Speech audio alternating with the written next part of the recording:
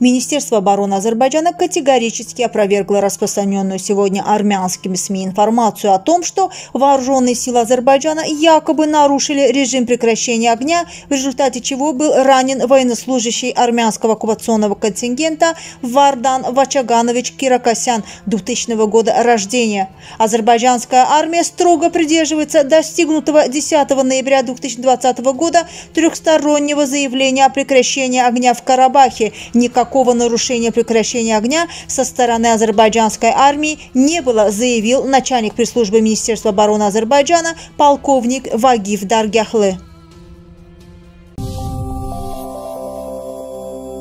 Dağların ətirli çiçəklərinin təravətini özündə cəmləyən təbii arı balını sizə təklif edirik. Təbiətin insanlara bəxş etdiyi bu möcüzəvi məhsulu əldə etmək üçün ekranda gördüyünüz nömrə ilə əlaqə saxlamağınız kifayətdir.